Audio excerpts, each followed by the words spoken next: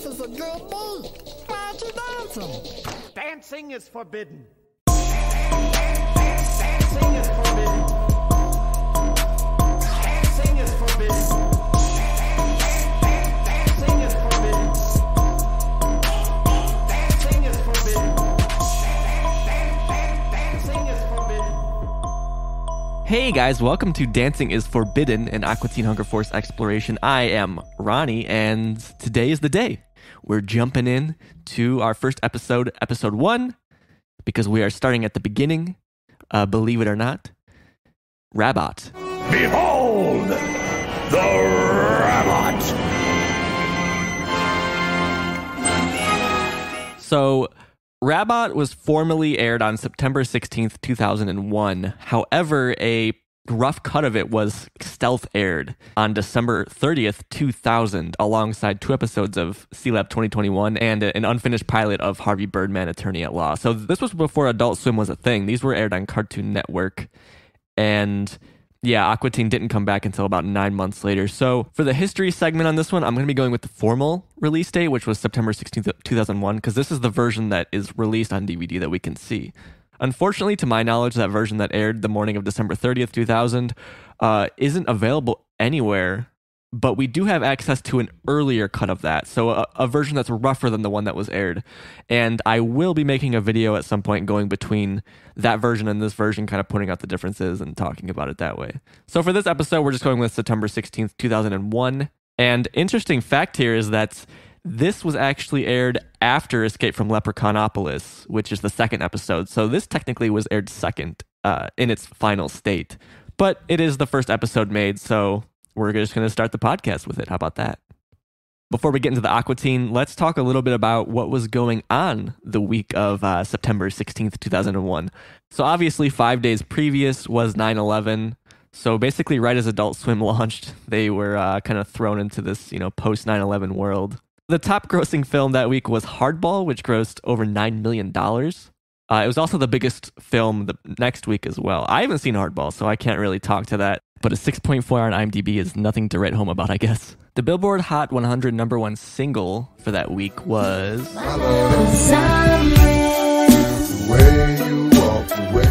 I'm Real Murder remix by Jennifer Lopez featuring Ja Rule. Uh, not really familiar with this one, but uh, hey, it sounds pretty good. And the Billboard 200 number one album of this week was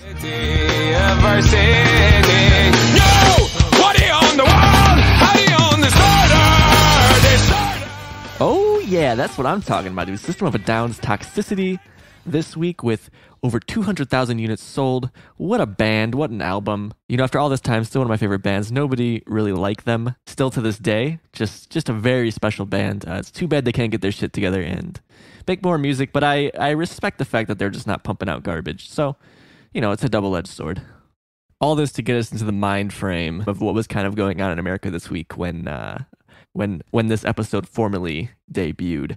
Uh, not a big album by any means, but I would like to mention that Telephone Tel Aviv's Fahrenheit Fair Enough came out this week in 2001 on the 18th. If you're into IDM electronica music, very nice album. Check it out.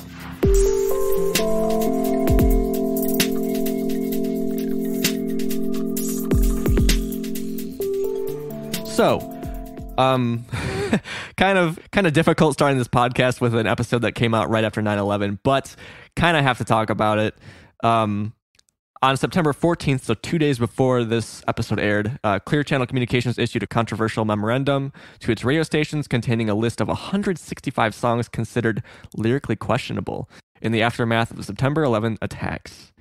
This list includes Knocking on Heaven's Door, all songs by Rage Against the Machine, and John Lennon's Imagine. So America really cracking down on its content at this time, which, yeah, unfortunate for Adult Swim, which wasn't super edgy at the time, obviously. I mean, this episode of Aqua Teen debuting with a, a PG rating. You know, these early Aqua Teen episodes really aren't that explicit, I guess, but you know, eventually we get into the into the TV M territory. But yeah, important to note that when this episode first aired in its rougher state, it wasn't on Adult Swim. It was actually on Cartoon Network because Adult Swim didn't exist yet. Adult Swim came to exist in this month. All right, so a very brief history of Aqua Teen. I don't know why. I just don't want to get into like a huge history of the show because you can just look this up, I suppose. But it was created by Matt Maiellaro and Dave Willis, who met and worked together on Space Ghost Coast to Coast, which, if you haven't seen it, I assume most of you have, but if you haven't, is a very funny show. Uh, the episode that got me into it was Knifing Around.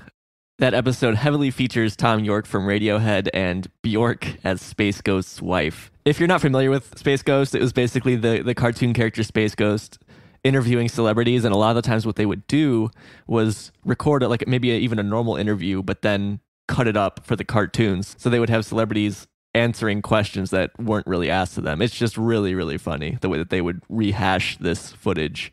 But yeah, very similar humor style. And it's actually where Aqua Teen was supposed to debut in a sense. So as Dave Willis tells it, they were kind of tired of running Space Ghost episodes, so they thought it'd be funny to to have an episode where these these characters, a shake, a pack of fries, and a meatball, like took over the episode. And that episode actually never made it to production until after Aqua Teen came out. So we will go over that episode at some point of Space Ghost because you can't see it, but it was it was all done after the fact. But yeah, the idea was to have these characters take over and Dave Willis and Matt Maiellaro liked the idea so much that they ended up wanting to make a show based on them. Now, in that episode of Space Ghost called Baffler Meal, the characters were way different personality wise. They really didn't resemble the characters that made it into Aqua Teen, but it's a fun bit of history regardless.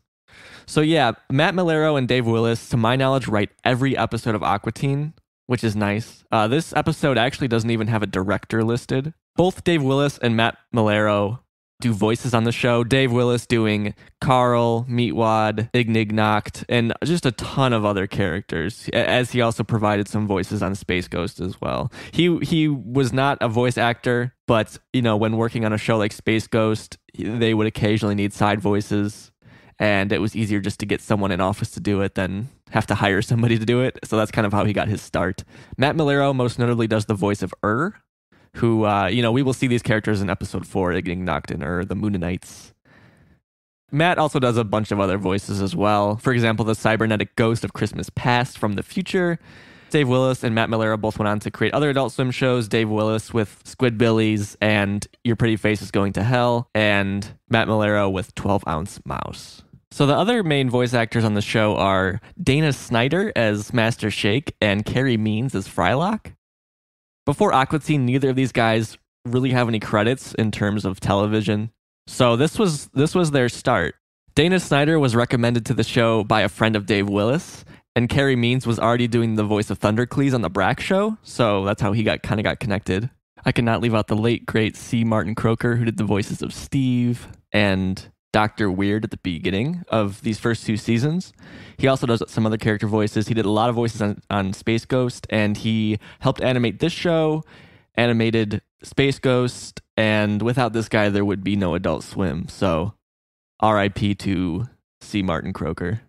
At some point, I will explain the stories of these guys, but I just don't want the history segment to be too long. So we'll we'll go back to them in in future episodes to kind of discuss their stories if if you guys don't already know them.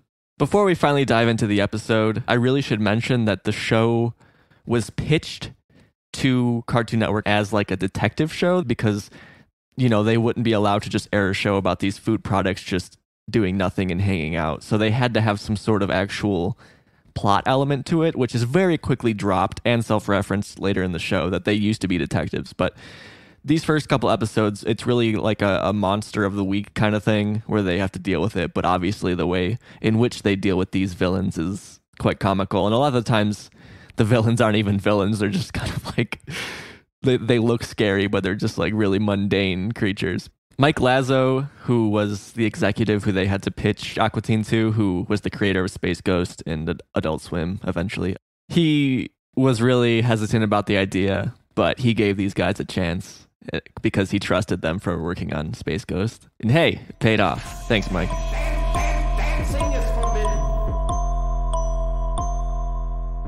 So this episode starts with a Dr. Weird sketch, as all episodes in seasons one and two do.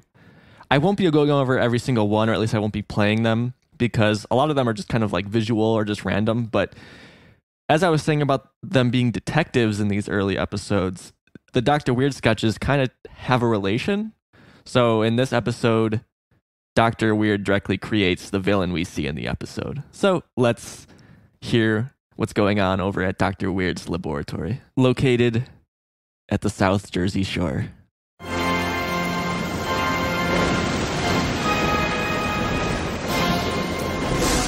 Gentlemen, vegetables have threatened man for generations. I have obtained funds to solve this vegetable nightmare. Hey, um, Behold, uh, Dr. Weird, I thought that grant was for something like the cure diseases. the uh, grant. What is that? uh, Shut up. Behold, the rabbit.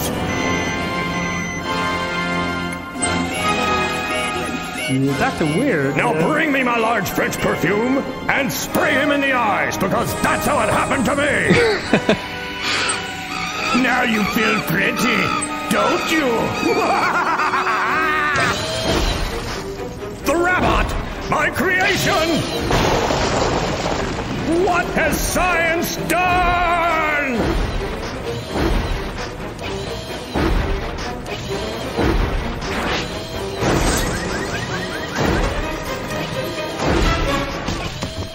All right, so I'm to be trying to look at these early episodes because I've seen them so many times, like through the lens of someone seeing it for the first time, like as it's just airing. And because, you know, we're used to all the tropes. And I think because of that, these early episodes are kind of weak compared to the heights of the show. So I'm trying to enjoy them for what they were at the time. And so, yeah, off the bat, we're greeted with Dr. Weird, who visually is just crazy. He he's wearing like a, a purple dress with a gold W on the top, showing his bare chest. He's wearing um, golden gloves, kind of similar to Master Shakes, but Shakes are yellow, not gold. Um, but yeah, they, they I guess they look like dishwashing gloves.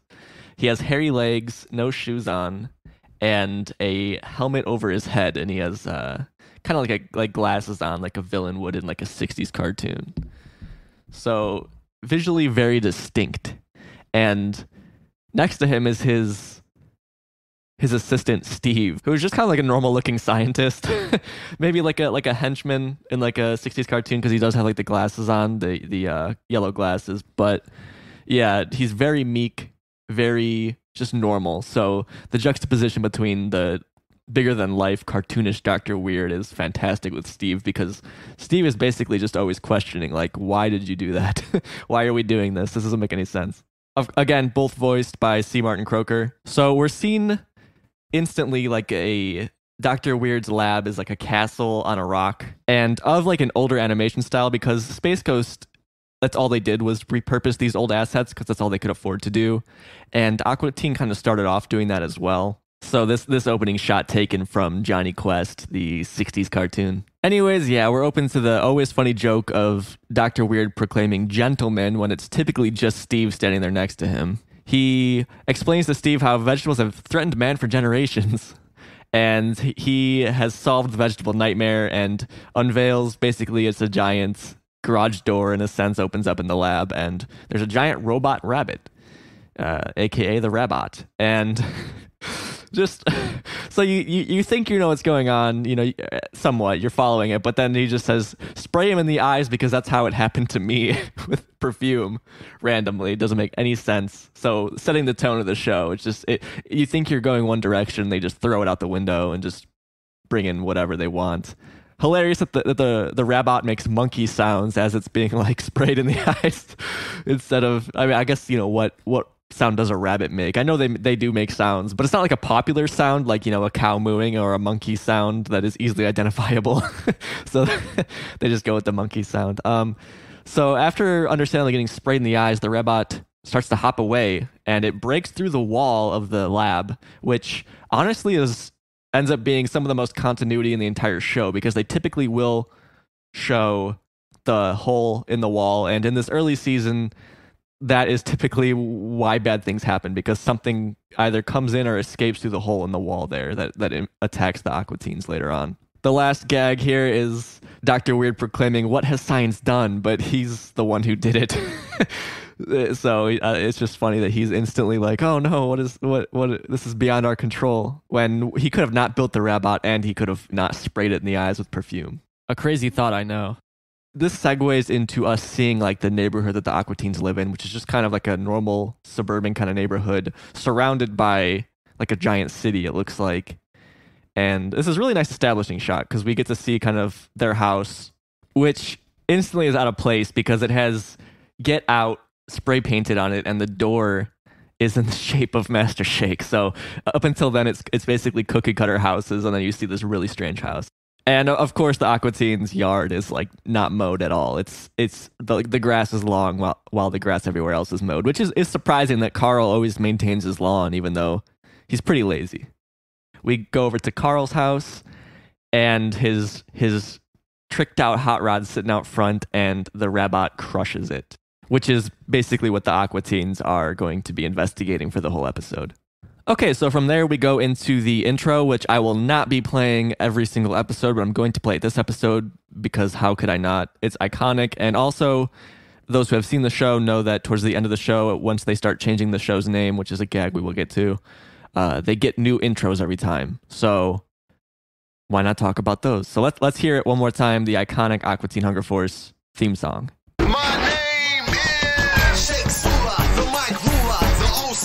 You want a trip? I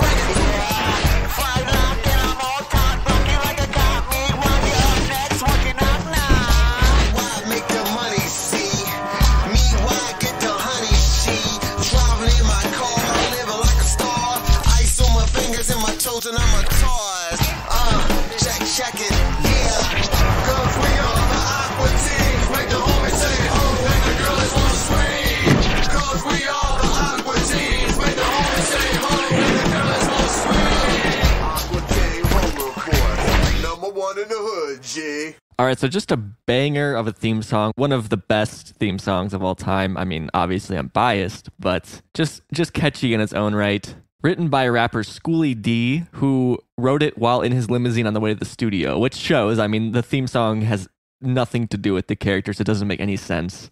Like, for example, Meat Wad make the money C, Meat Wad get the honeys G. Uh, he doesn't really do much of either in the show, especially not early in the show. So it's just all nonsense, but it's just so catchy and fun. As far as the video goes, it opens with each of the corresponding Aqua Teen characters dancing in front of like an urban background with like spray paint and stuff in the back. Uh, important here that it establishes that Meatwad can change shapes. Uh, they show him turning into a hot dog, an igloo, but in this episode, I believe he only turns into the meat bridge. We'll see if I'm wrong, but I'm pretty sure he he doesn't even turn into any of these shapes. But yeah, it establishes what he can kind of do. So after they're dancing around, we get some kind of action shots. So we see them, for, example, parachuting from a helicopter over like a fire red background.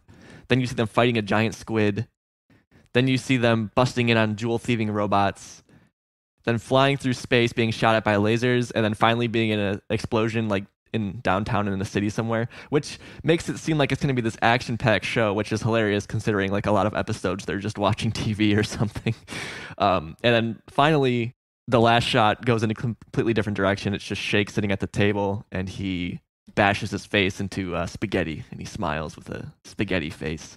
On the fridge, you'll see there's a picture of the three of them at the beach, and uh, drawing by Meatwad that says Meatwad's house. So this last shot just really going somewhere else, considering the first half is like hip hoppy, second half is like action packed, and then this is just like what the hell. So really establishing the show and doing a great job of getting to what the show ended up being. I think. I can't remember if I if I mentioned it, but when this show was stealth aired with an earlier cut, this theme song was not in it. All right, so here we are, the first proper scene of Aqua Teen. We are introduced to Carl, who has not yet been shown, who is a balding, fat, hairy man with a gold chain around his neck and a wife beater and blue sweatpants. He is the Aqua Teen's neighbor, and he is walking out to see what has happened to his car. What happened to my freaking car? Good morning, Carl. How's it going? Oh, yeah. Good morning to you there, Mr. Food Monster. This is how it's going. Look at my freaking car. It is crushed to bejesus and back.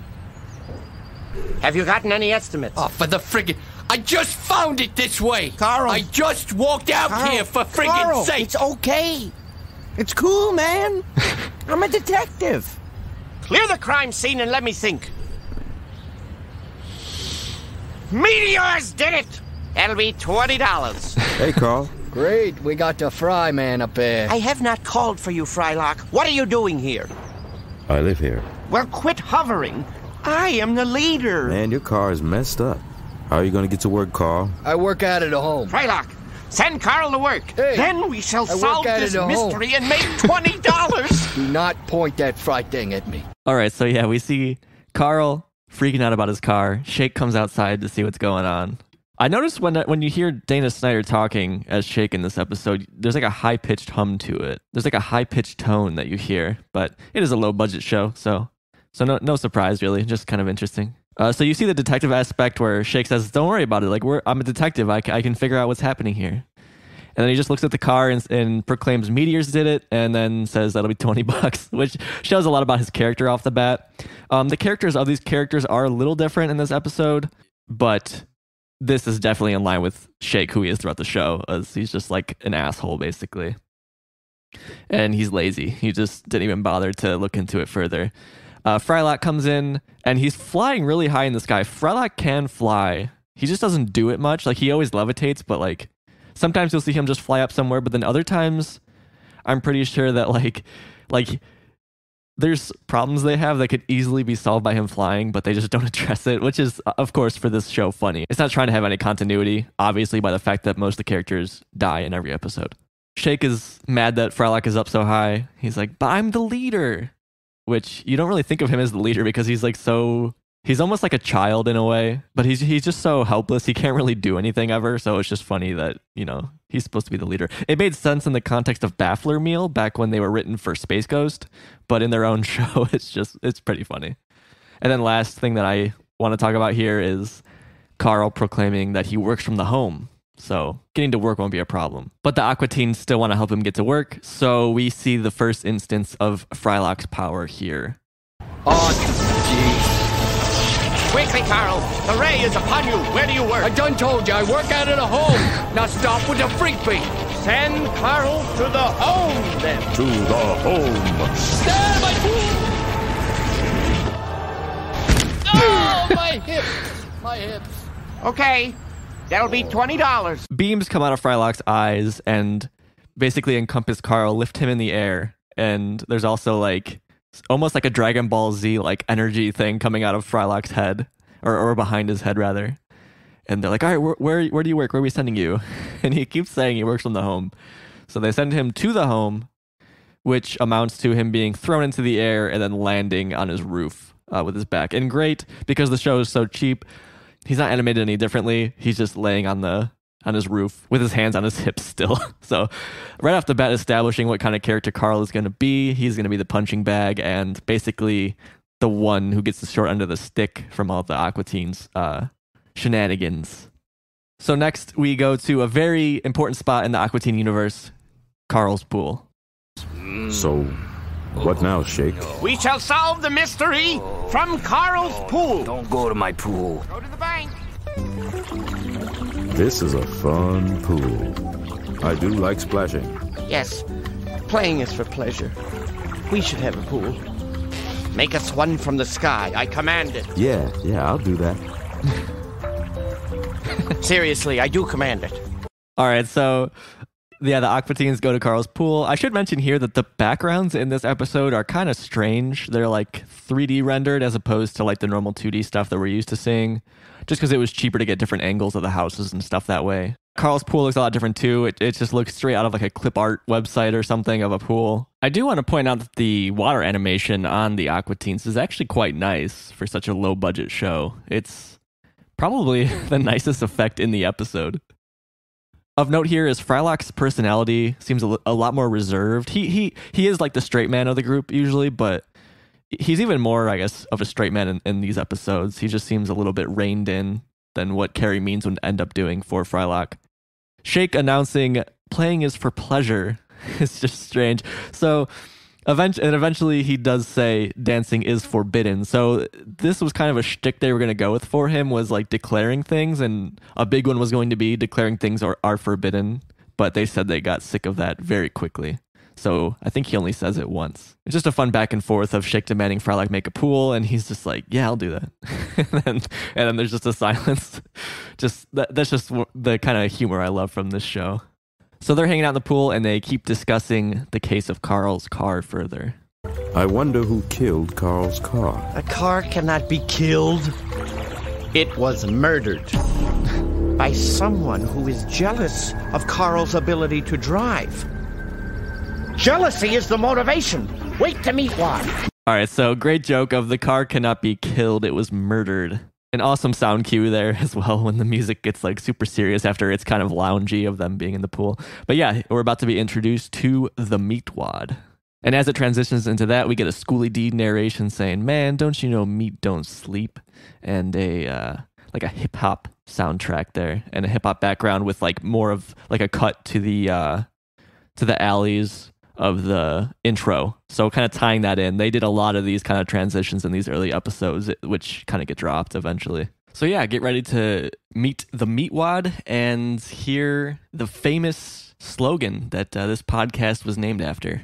Whoa, whoa, whoa, whoa, whoa! Wake up, meatwad! Good morning, Frylock. How are you doing? Good morning, Meatwad. This is a good beat. Why aren't you dancing? Dancing is forbidden. Oh, yeah. It is mystery time. We have a case to solve. Aqua Teen Hunger Force, assemble! Now look, Can I go it's clear to me that meteors have destroyed Carl's car. Can I go swimming? But he's committed to give us $20. Can I go swimming? So what I propose we do is to spend that money now Can I go before he has time to take it back. And we're gonna spend it on what? Candies. Hey, Master Shake, can I go swimming? Look, Meatwad, this is Carl's pool, not yours. You can't just decide to go swimming whenever you want. But you're swimming right now. What I'm doing is merely swirling the water about. That's not a crime. Uh, Shake, we swam enough now, haven't we? Shouldn't we get going on this mystery? Let's do it tomorrow. It's supposed to snow tomorrow. No, we'll do it now. Fine! Aqua Teen assemble, cause Frylock baby has to have it! Okay, so a lot going on, uh, I guess, in these two scenes, but I wanted to keep them together. So we are introduced to Meatwad. He's in like a rundown room underneath deli lights or whatever they use to, you know, keep things heated. And he's also sleeping on a grill. So just strange. Uh, the carpet is all torn up, and there's a lot of drawings on the walls, which we assume Meatwad did. Um, in this shot, you can see uh, some sort of spiky character similar to Oglethorpe and Emery, who are introduced later in the season. And next to that character, it's it says, from what I can make out, friend and Jim P. I don't know what that would be. And then there, there's just like a little circle next to it, and it says me next to it. It's supposed to be Meatwad. Uh, then there's a, a drawing of the danger cart, which is foreshadowing because we will be introduced to the danger cart in just a minute here. And then there's a drawing of Frylock and Shake. Both of them are labeled by Meatwad. So it's very kind of cute that he's drawing his friends on his wall. Just very, very innocent, very sweet Meatwad. We also see a lot of troll dolls in Meatwad's room, which I don't think really make a reappearance, but they are very, very ugly. Not like the cute troll dolls. I think we do see some troll dolls later, but they're like normal looking. They're not hideous like these. And this is also the only interior shot we get of the Aqua Teen's house in this episode. Uh, I'd like to point out that in in the in the rougher cut that we see as an extra on this DVD, that we do get more interior shots. But as of right now, as of this formal airing of the episode, this is the only interior of the Aqua Teen's house that we see. Anyways, Shake wakes up sweet little Meatwad in the rudest way. He just screams at him, says, Whoa, whoa, whoa. He just screams at him. And uh, Meatwad wakes up super chipper, and instantly Meatwad runs over to his boombox, or sorry, his jam box, turns it on, starts starts dancing. There's a Russian text on on the jam box. I guess it is a, uh, I guess it was made in Russia, and instantly Shake destroys it and declares dancing is forbidden again. Something that they were planning to do more of, but realized it was kind of annoying. And he declares the Aqua Teens assemble. And there's just the saddest look on Meatwad's face when he does this, and it's something you get used to watching this show. Is Shake just picking on Meatwad, but Meatwad's he still respects Shake for some reason, even though Shake has absolutely nothing respectable about him. So, anyways, in his uh, leadership role in these early episodes, Shake declares Aqua Teens assemble, and then we're back at Carl's pool with the lounge music going. Meatwad keeps asking if he can swim, but they are ignoring him and won't let him swim. But uh, Shake comes up with the great idea that they need to spend the twenty dollars that Carl never even said he would give them before he can take it back, which is kind of strange because he hasn't given them anything yet. And Shake says that they should spend it on candies. But Frylock, being the more mature one, is like, I think we need to actually investigate this and figure out what's going on. Shake, being lazy, tries to put it off, and uh, Frylock still wins out because I suppose if they didn't investigate it, what really would they do in this episode? So the next scene, which I'm not going to play because it's a visual joke, is we are we see the front of their house, we see the garage door, and there's triumphant music playing, and the door starts to open a little bit, but it's stuck. It keeps getting stuck. They keep trying to open the door, and you just hear Sh- Shake and and Meatwad trying to get this door to open, and then Frylock just flies along the side and just explodes the door with his eyes. Pretty funny joke, but uh, not really worth listening to without the visual. So we see the danger cart, which is literally Meatwad pulling like a wagon with Shake inside of it with Danger Cart spray painted on the side.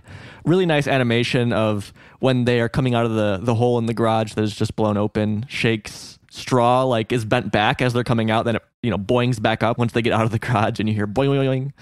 As they get out, Shake says, Hoorah, now I have to go to the bathroom, and then we get a Schooly D cut saying basically, "Don't you know that you don't have a bathroom?" So that's a joke in the show is that they don't actually have a bathroom, and the characters even acknowledge it themselves when people have to go to the bathroom. They're like, "Oh, well, we don't have a bathroom," and their excuses for where they go is different a lot of the times. For example, uh, th- there's a pile of clothes in the hallway that I've been using, which is just so gross.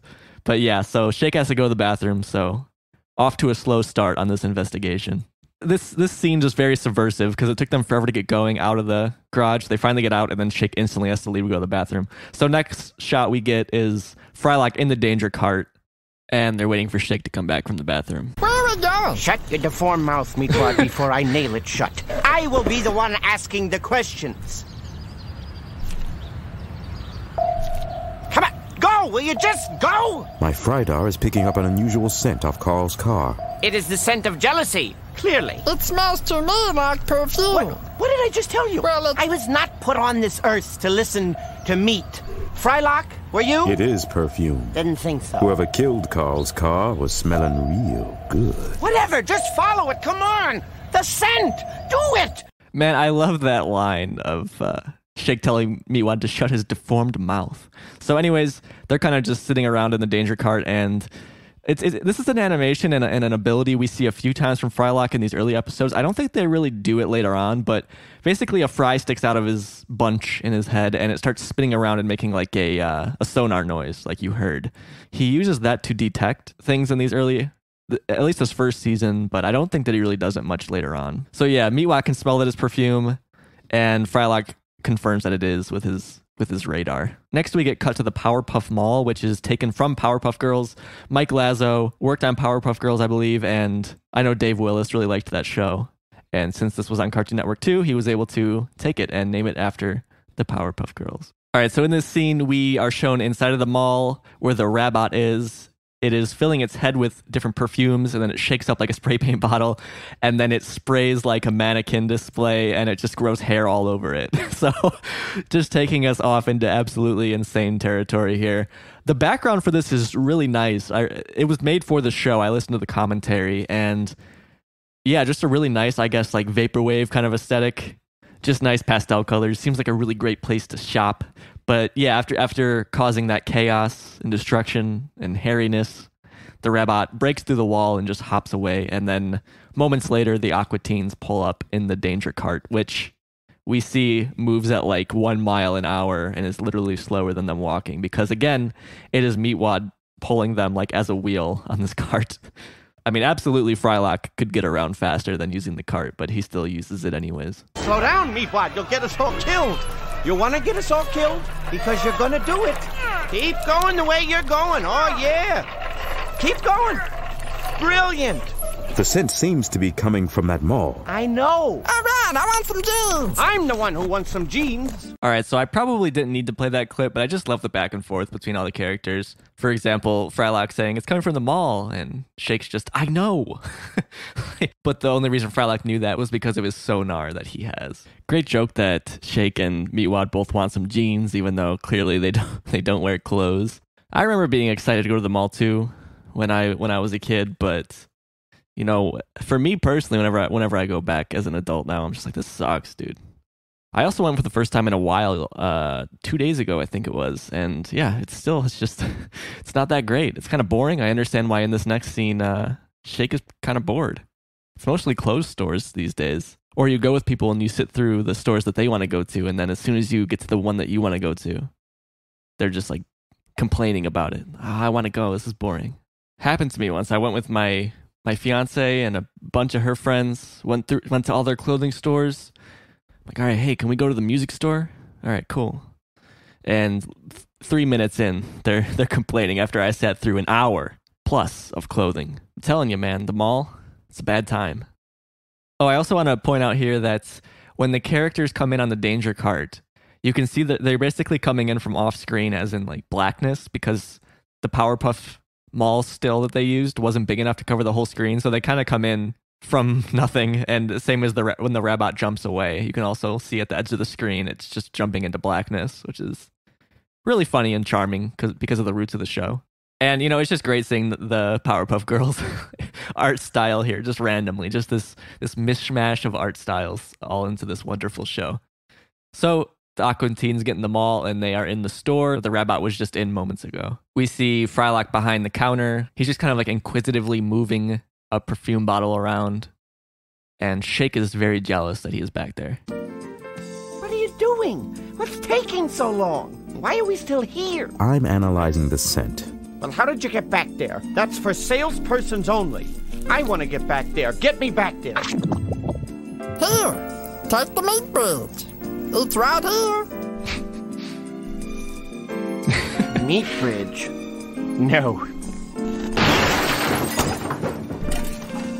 Well, fine. Don't take the meat bridge. How close are we to avenging the death of Carl's car? And please say soon, because I am bored. A large quantity of hair growth formula is missing from this counter. Well, as long as we don't go back to the lab. I need to go back to the lab. God, that'll take a thousand hours. What sort of twisted fiend would need this much hair growth formula? It's a perfume counter. Obviously, a woman did it. Now let's go. Ooh, hey, Frylock, look at this. You get away from that. That's an emergency exit, and if you set off the alarm and get every one of us in trouble, you'll be the one to go to prison, not us. That could be a clue. It has nothing to do with this. What's the matter with you? I found it. You'll find the back of my hand very displeasing. Now roll on over here. No, I'm not. Right next to my hand. I've done nothing to you. Why are these jeans all covered in hair? Why is anything anything? That is the style from LA. And that is where my manager lives and my agent. Okay? The case is solved. Okay, so I should have explained ahead of time. Um, so the robot broke out of the the store through the wall, and so Meatwad says, "What is this?" It's the big hole in the wall. It's kind of funny here that they supposedly have been in the store a long time because Shake is bored, but they are just at the very end of the clip noticing the hairy pants and the giant robot shaped hole in the wall. So just great whininess from Shake, how he doesn't want to be in that store. He wants to go home. And Meatwad is very proud that he discovered the hole. Also, Meatwad very sweet, trying to help Shake get behind the counter by forming into the meat bridge. And Shake's face is just pissed off when he when he sees that. When Meatwad even suggests that he help him out, Shake is just angry about it. And Shake breaks himself through the uh, counter, which is just great. Instead of jumping over it or entering the right way, which you can you gotta assume that there's a door somewhere to get in, he just breaks through it.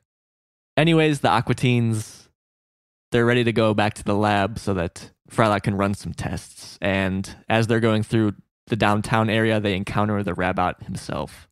I'd like to point out that in the earlier draft of this episode that we have, you actually do see a lab in their house, uh, which obviously they dropped. Uh, the lab is basically Frylock's room in, in, in every episode after that. But yeah, th- there was a specific room called lab, and it it looked horrendous. Again, I, I plan to do a, a side by side, scene by scene kind of comparison between the two at some point here.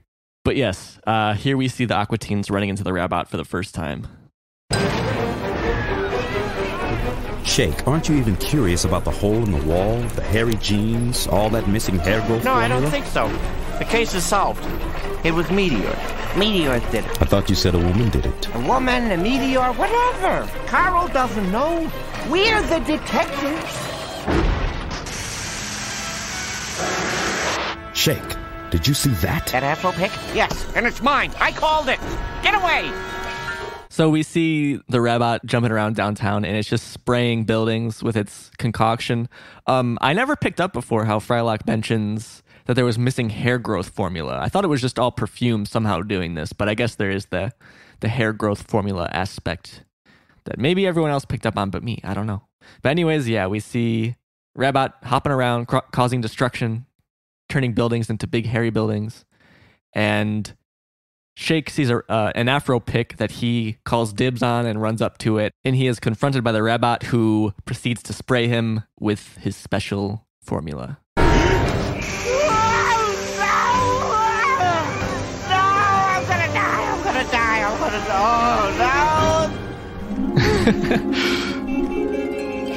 I'm beautiful. Oh, look at me, Frylock. I'm beautiful. Oh, I like the length. Makes me look a little wild. Look, that rabbit is the thing that killed Carl's car, and we need to stop it. Okay, here's the plan. Indigo is right across the street from here, okay? The hair salon. Yes.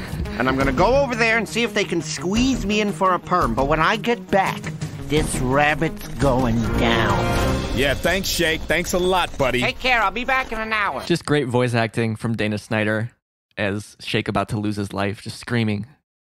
Instead of dying, he gets a beautiful set of hair, nice, nice length to it down to his feet.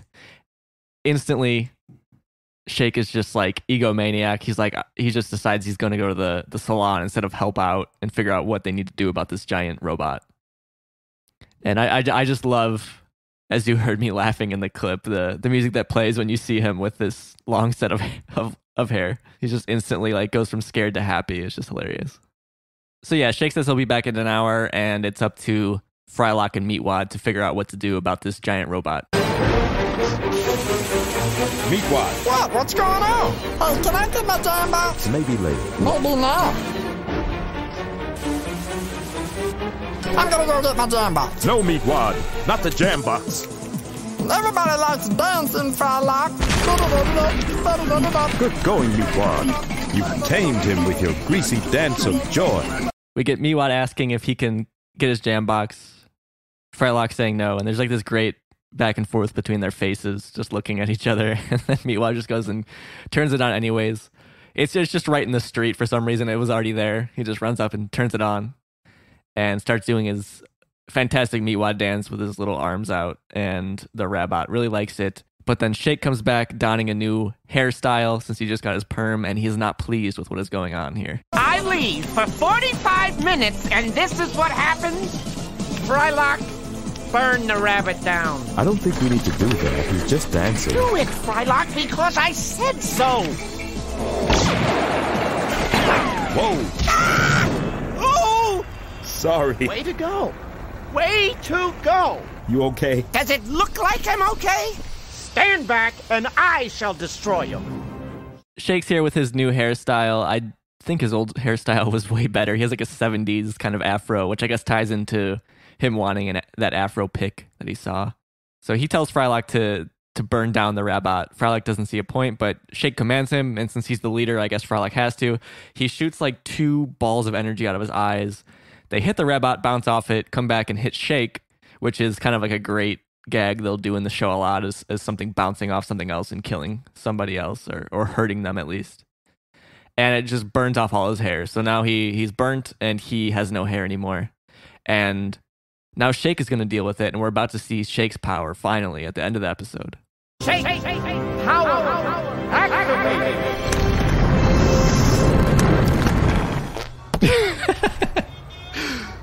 now come over here and slip on it, if you dare, rabbit. Now set the trap, Frylock. Trap? What trap? Go get a trap. I didn't bring no trap. What trap you Come on. about? Let's go. Let's go. He's gonna kill us. Just a great sequence here of so Shake gets big like he's about to push something out of his straw, and he does, and it's just it's just like a little glob of green. I assume milkshake. So you learn that he doesn't really have a power at all. So Meatwad can change shapes, which, which I think in, in the show is useful sometimes. Frylock can fly, he can shoot lasers, he can move things with his powers. So he he's very powerful. and Shake can't do anything. He's just an asshole. and then a great line with him him telling the robot to come over here and slip on it, which again is another joke they'll go back to later where someone will do something they're like, "Yeah, come over here and get some of it," basically. It's very funny. The robot does not slip on it, and the Aqua Teens have to run away because there's nothing they can do against it. Before they can escape, though, poor Meatwad gets squished in the madness. So we get a, we get a Schooly D transition, a final one saying things is looking shady for the Aqua Teens. And I- I'd like to point out after these transitions, every scene basically opens with an explosion, which is very over the top given the content of the show so far.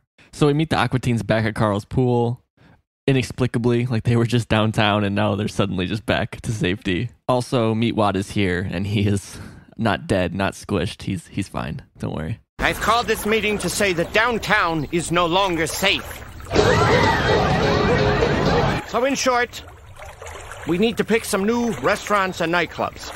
Get out of my freaking pool! It's just very funny that the Aqua Teens have resigned to the fact that the, the Rabbit has taken over downtown and they can't go there anymore. And that's it. You, you see you see the Rabbit dancing with a bunch of hair covered buildings surrounding him. And then great line from Carl telling them to get out of his freaking pool. Very iconic line. Meatwad not even in the pool in this episode. Very sad. He's just sitting by the pool with a big smile on his face because he's probably just happy to be with his friends. So yes, that is the end of the first Aqua Teen episode. I think watching as many times as I have for this podcast, maybe like it more than I did initially. Not a great Aqua Teen episode, but not a bad one either. It's just because I think the show gets so much better. But imagining seeing this for the first time with having no prior knowledge to Aqua Teen definitely does. I think I think a good job of introducing the show and the characters. The personalities are a little bit different. The animation style is a little bit different in terms of the background images not being what they will be eventually. But very fun monster idea, even though he's probably one of the weaker monsters in, in all because he has no personality as opposed to some of the hilarious monsters that we'll see soon. But still, just the, the bizarreness of it is great. You're introduced to the fact that the three Aqua Teens are pretty, pretty useless. Uh, besides Frylock, I guess he, he's very smart and he has great powers, but Shake's just a self entitled asshole, and Meatwad is just an innocent like child. and in the end, they I guess they figured out what happened to Carl's car, but they they couldn't do anything about it. In total, I'm gonna rate this episode 3.5 hairy jeans out of five.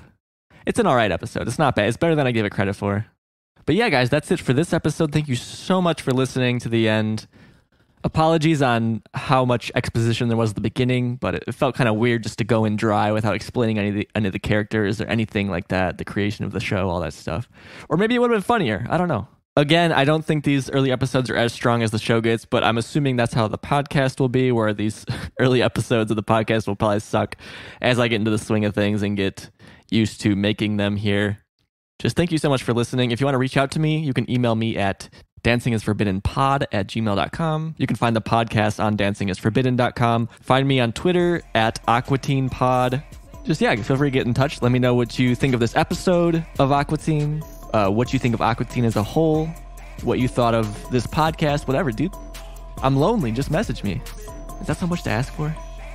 Thank you guys for listening, and I'll see you next week for Escape from Leprechaupolis uh, which was the first episode actually aired, aside from the stealth airing in 2000. So, yeah, have a good week, guys.